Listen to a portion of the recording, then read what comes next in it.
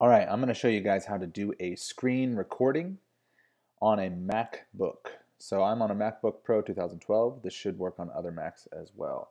So let's get started. Go on ahead and hit Command Shift 5.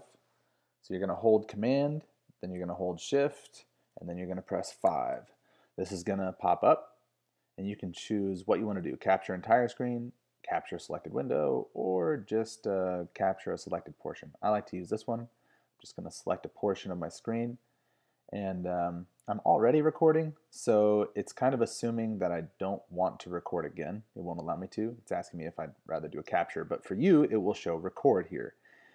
Um, now one thing to keep in mind is after you hit record, after you press that, this is going to appear right here and that lets you know that it's recording. It's helpful. However, there is a delay. There's about a five or 10 second delay. So what I like to do is before I actually start any um, recording, I just wait 10 seconds and then I start speaking. Another thing you'll want to do is go to options, make sure that the timer is set to none, uh, unless you want it, of course. And then you'll also have microphone options in the recording section as well. And uh, I just use simple Apple headphones. Um, okay, so then the question is, how do you record yourself? So how do I use my webcam to display myself in this screen recording? What I'm going to do is I am going to first exit out of this, but I'm still recording as you can see. I'm going to open up QuickTime Player and I'm going to hit File, New Movie Recording, and this is going to appear. And then I'm going to minimize it and drop it down here. Then I'm going to hit view and I'm going to put float on top. That means that it's always going to stay here. Even if I open up other stuff, it stays on top. So that's very nice. Okay, so there's that.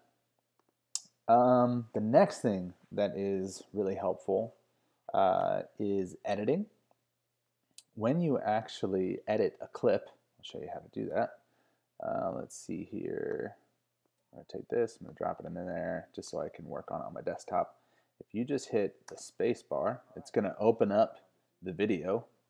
And then what you do is you can just splice it up right here. You don't need to open it up into preview mode. You can just hit spacebar and it kind of does this quick view thing. And then you can just remove the beginning and the end, whatever you want.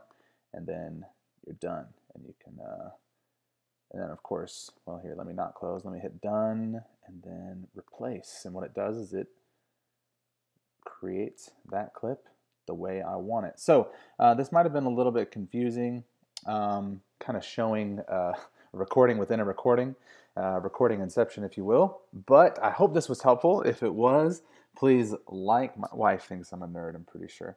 Uh, please like, share, and subscribe. and uh, comment if you have any questions below.